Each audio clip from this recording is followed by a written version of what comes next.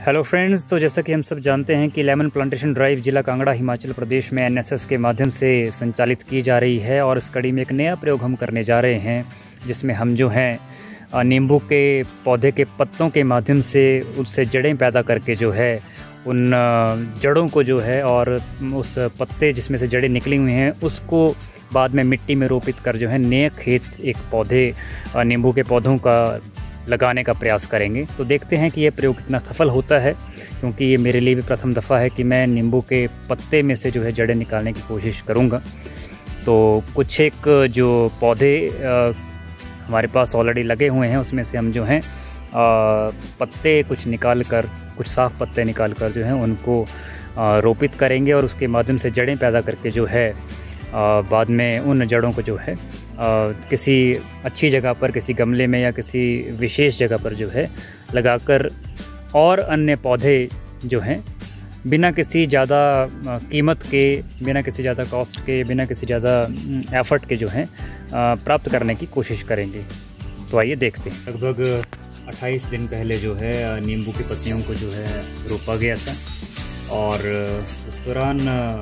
बीच में मुझे इसका जो नींबू की पत्तियों को लगाने के लिए जो कंटेनर है, उसको चेंज करना पड़ा था। और चेंज करने के बाद जो है, दोबारा पत्तियों को जब मैंने लगभग अट्ठाईस दिन के बाद आज देखा है तो इसमें जो है, मुझे जड़ें जो है नींबू की पत्तियों के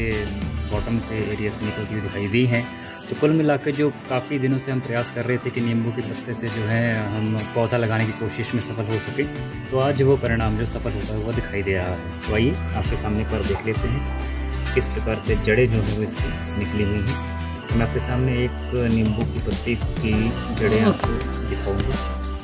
अगर मैं इसको आपको दिखाने की कोशिश करूँ तो आप देख सकते हैं कि नींबू की जो पत्ती है, इसके अंदर जो है, इसके बॉटम में आपको जड़ जो है वो निकली हुई दिखाई दे रही है। तो कुल मिलाकर मेरा कहने का मतलब ये है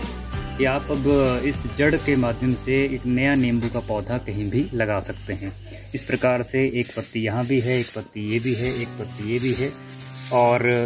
एक पत्ती जो इसमें लगी हुई थी कहीं और, थोड़ी बड़ी पत्ती थी, लेकिन वो किसी कारणवश जो है वो इसमें रोपित ढंग से नहीं हो पाई है या फिर शायद वो बरसात के पानी की वजह से साथ में ही इसमें बह गई है। तो कुल मिला के मेरे पास अब जो हैं चार, पाँच पत्तों में से जो है ये चार जो पत्तियाँ हैं, वो अपना जो पौधे का रूप है उसको लेने में अभी ये सक्षम हो जाएँगी जड़ के आने के बाद। तो कुल मिलाकर ये जो प्रयोग है एक तरह से सफल रहा है।